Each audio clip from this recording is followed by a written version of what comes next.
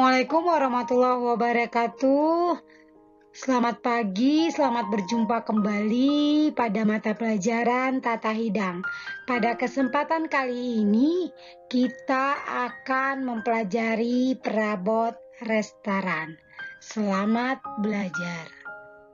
Adapun kompetensi dasar diharapkan siswa mampu memahami perabot di restoran, dan siswa dapat melakukan pengelompokan perabot di restoran.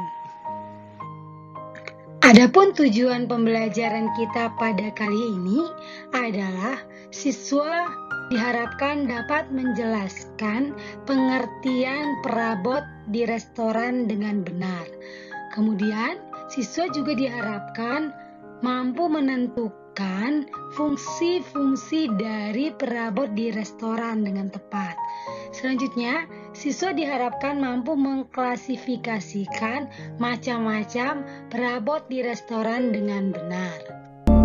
Berikut ini, marilah kita saksikan video tentang perabot restoran.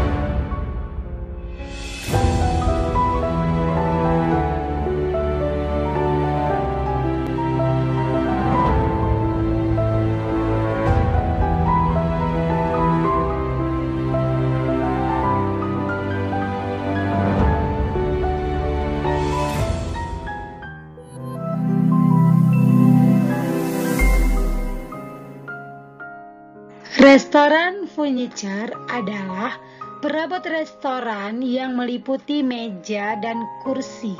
Pada umumnya terbuat dari bahan kayu. Nah, kind of restaurant furniture ini secara garis besar terdiri dari tiga, yaitu kursi, meja, dan setboard. Baik, fungsi dari perabot restoran adalah memberikan kenyamanan dan keselamatan bagi tamu yang sedang berada di restoran. Furniture restoran yang akan kita bahas yang pertama itu adalah chair atau kursi. Kursi terdiri dari beraneka ragam corak, bahan ataupun warna untuk dapat menyemarakkan ruang makan di sebuah restoran. Nah, kursi pada ruang makan disusun dan diatur sedemikian rupa sehingga selalu nampak rapi dalam sebuah jajaran. Model dan warnanya ditata semenarik mungkin dengan syarat tinggi kursi 46 cm dari lantai dan biasanya kursi lebarnya itu sekitar 46 cm. Berikut ini juga aneka ragam bentuk, desain, serta warna dari chair atau kursi. Macam-macam kursi atau chair adalah macam-macam kursi. Yang pertama disebut dengan dining chair. Dining chair merupakan kursi yang digunakan untuk tempat duduk saat makan. Macam-macam kursi yang kedua adalah armchair. Armchair ini kursi dengan uh, senderan dan ada sanggahan untuk uh, lengan. Biasanya kursi ini dipakai oleh para waiters yang diletakkan di ruangan waiters sebagai tempat beristirahat. Macam-macam kursi yang ketiga disebut dengan baby chair. Baby chair ini merupakan tempat duduk untuk para balita pada saat makan di restoran. Furniture restoran yang kedua adalah meja atau dalam bahasa Inggris disebut dengan table. Meja atau table memiliki berbagai model. Ada yang bermodel antik, ada juga yang bermodel modern. Nah, untuk model ini disesuaikan dengan dekorasi ruangan dari restoran tersebut.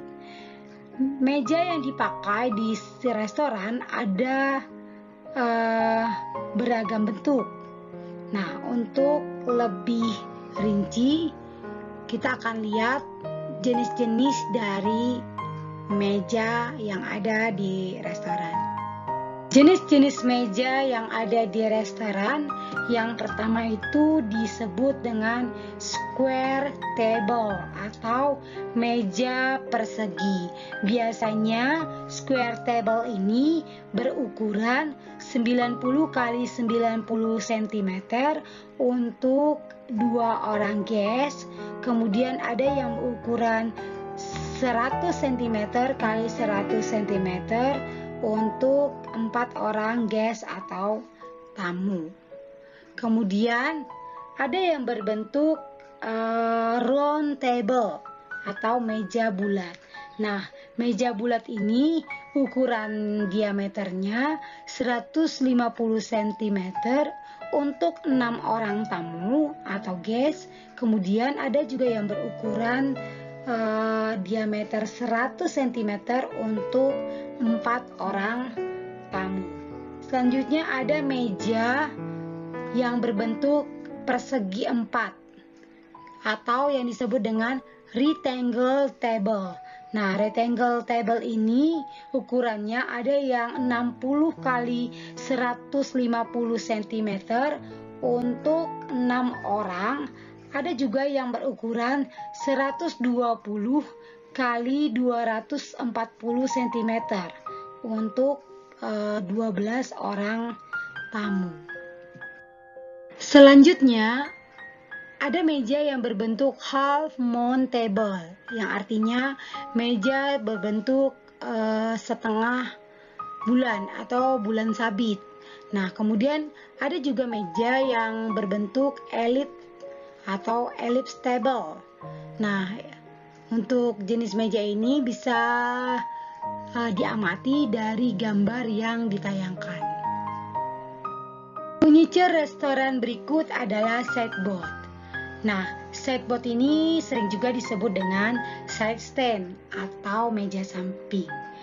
Nah, sideboard merupakan suatu bentuk meja yang mempunyai sejumlah laci dan rak yang biasanya diletakkan di pojok atau di tepi ruang makan. Nah, uh, setbot ini difungsikan serbaguna untuk memperlancar pelayanan. Nah, untuk uh, rak-rak yang ada pada setbot difungsikan untuk menyimpan cutleries, kemudian berbagai macam linen dan chinaware. Demikianlah pembelajaran kita tentang perabot restoran atau furniture restoran. Saya harapkan kalian semua dapat memahami berbagai perabot yang ada di restoran. Terima kasih. Assalamualaikum warahmatullahi wabarakatuh.